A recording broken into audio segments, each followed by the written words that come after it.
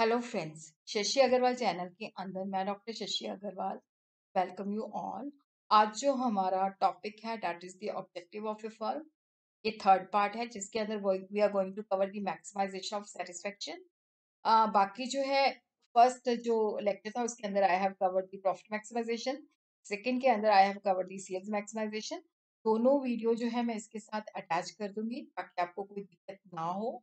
अगर आपको मेरा ये एफर्ट जो है सही लगता है तो डू लाइक माय वीडियो इसको शेयर कीजिए और मेरे चैनल शशि अग्रवाल को सब्सक्राइब कीजिए। उसी तरह क्या है कि maximum of maximisation of satisfaction बताने से पहले मैं आपको अपनी ऐप के बारे में बता दूँ। That is the Edusum app जिसको आप गूगल प्ले स्टोर से बड़ी आसानी के साथ जो है डाउनलोड कर सकते हैं। उसका लिंक भी जो है direct I will be sharing in the description box इसके ऊपर जो मैनेजरल इकोनॉमिक्स है, उसका फुल फ्लेज कोर्स जो है अपलोड हो चुका है। तो ये जो सिलेबस है managerial economics nature and scope role and responsibility what are the objective of the firm managerial economics and managerial decision making utility and demand analysis, supply and market equilibrium, analysis and pricing policy, consumption function and investment. Uh, तो ये सारे topic जो है इसके अंदर मैंने डाल दिए हैं। Uh, जो किस तरह से ये सब्जेक्ट टीच किया जाएगा? रिकॉर्डेड लेक्चर्स होंगे। अगर जहाँ पे भी आपको लगता है कि आपको टॉपिक समझ नहीं आया तो there will be live classes doubt classes भी होंगी। डिस्क्रिप्टिव नोट्स दिए जाएँगे समराइज नोट्स भी दिए जाएँगे और पुराने जो क्वेश्चन पेपर्स हैं, उनके सोल्यूशन भी प्रोवाइड किए जाएँगे और बाकायदा आपके टेस्ट भी लिए जाएँगे ताकि आप इस सब्जेक्ट के अंदर परफेक्टली मास्टर हो जाओ। ये मेरा फ़ोन नंबर है seven nine seven three one seven nine zero nine one अगर आपको कोई दिक्कत आती है तो आप इस फ़ोन पे मुझे कांटेक्ट कर सकते हो। इस कोर्स का लिंक जो है that will, I will that I will also be sharing in the description box. अब पहले हम देखते हैं फर्म का मतलब क्या है। फर्म जो एक सिंगल यूनिट है, जो कि गुड्स एंड सर्विसेज़ को प्रोड्यूस करता है। फर्म के अंदर वो सारी ऑर्गेनाइजेशन, सारे यूनिट्स आ जाते हैं, जो या तो गुड्स को प्रोड्यूस करते हैं और या सर्विसेज़ को प्रोड्यूस करते हैं। मतलब ये नहीं कि जो चीज़ें प्रोड्यूस करता है, वही फर्म होती है, इवन वो भी फर्म होती है जो सर्विसेज़ रेंडर करती है। फर्म जो है सोल प्रोपराइटरशिप भी हो सकती है पार्टनरशिप भी हो सकती है ज्वाइंट स्टॉक कंपनी भी हो सकती है।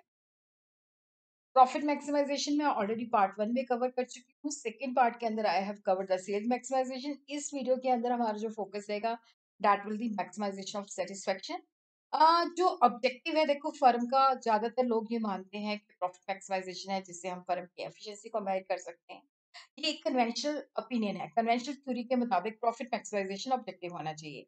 पर जो रिसेंट थ्योरीज हैं, वो बिहेवियरल थ्योरीज हैं मैनेजरल थ्योरीज हैं, वो कहते हैं, भाई ऑनरशिप और मैनेजमेंट जो है सेपरेट हैंड्स में है। जो ऑनर होते हैं, वो ऑर्गेनाइजेशन को मैनेज नहीं करते।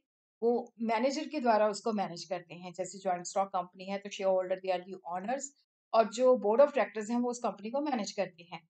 तो उस वक्त क्या होता है कि प्रॉफिट मैक्सिमाइजेशन के अलावा भी और बहुत सारे ऑब्जेक्टिव्स होते हैं। It could be revenue maximisation it could be maximisation of satisfaction it could be security profit it could be survival it could be growth maximisation it could be satisfying theory it could be Cyert and March behaviour theory अब हम देखते हैं maximisation of satisfaction according to Scitovsky जो entrepreneur है, जो firm है, उसका main objective क्या है? Rather than profit maximisation maximisation of satisfaction वो अपनी सेटिस्फेक्शन को मैक्सिमाइज करना चाहता है। एक भी जो है, उसका जो ऑब्जेक्टिव है to maximise the satisfaction even at the cost of profit कि मुझे बहुत ज़्यादा प्रॉफिट नहीं चाहिए। मैं I want to maximise my satisfaction जब एक लेवल ऑफ़ प्रॉफिट तक पहुँच जाता है तो जो एंटरप्रेन्योर है, उसकी साइकोलॉजी इस तरह की हो जाती है कि भाई, मैं तो अब कम काम करूँगा, आराम करना ज़्यादा पसंद करूँगा।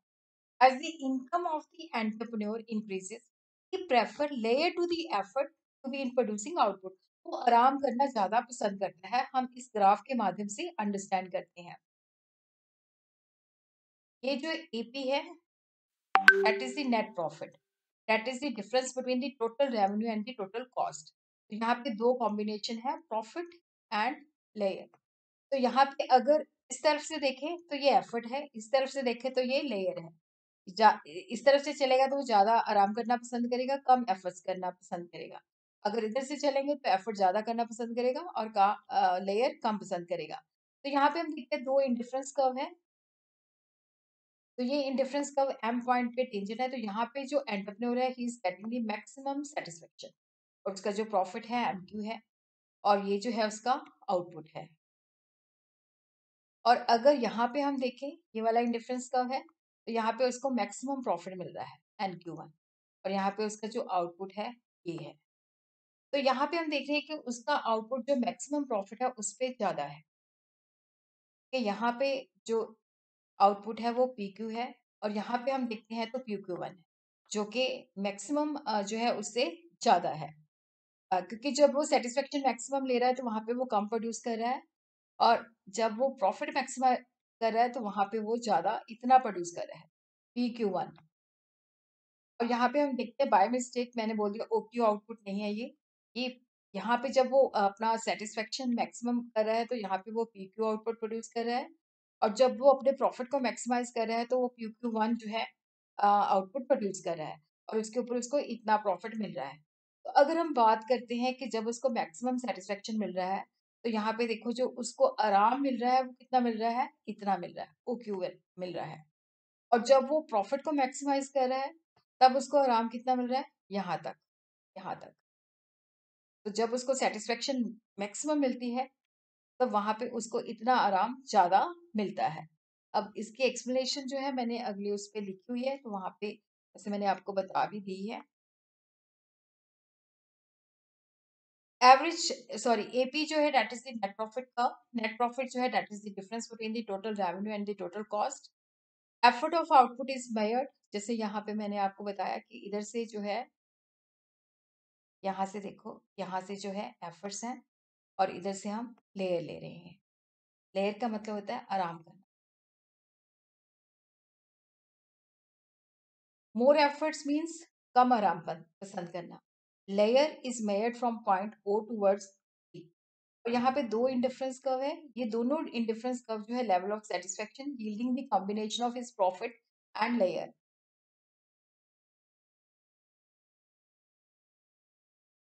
Entrepreneur satisfaction would be maximum at OQ level of output, where M indifference curve is tangent to net profit curve.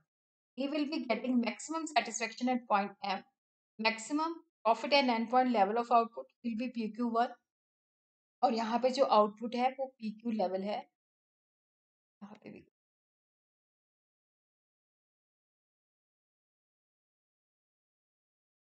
और यहाँ पे हम देखते हैं जो एन है वहाँ पे पी क्यू वन है, जो कि ज़्यादा है उससे जो कि प्रॉफिट मैक्सिमाइजेशन से कम है। और वहाँ पे क्या है कि उसको जो लेयर मिल रहा है that is the O Q layer जो कि क्यू क्यू वन लेयर जो है ज़्यादा है। प्रॉफिट मैक्सिमाइजेशन के अंदर उसको सिर्फ़ ओ क्यू वन ही लेयर मिल रहा है, जो कि कम है।